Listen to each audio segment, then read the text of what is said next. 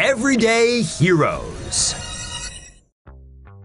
7 Eleven clerk fearlessly disarms shotgun from teen robber. This shotgun toting teen is behind bars after this badass 7 Eleven clerk pwned him during an attempted robbery in Maryland last week. The incident occurred around 4 a.m. Tuesday morning on Sunday's Lane in Frederick, Maryland.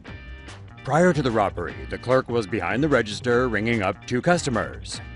The teen burst into the store and began gesturing aggressively towards the clerk.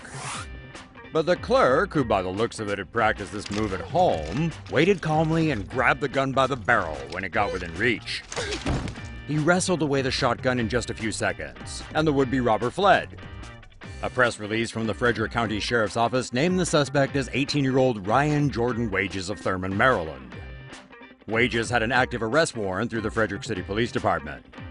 Wages was later charged with attempted armed robbery and transported to the Frederick County Adult Detention Center. Store owner Abdul Ayub told the Frederick News Post he was contemplating further security measures as his store has been robbed four times over the last eight years.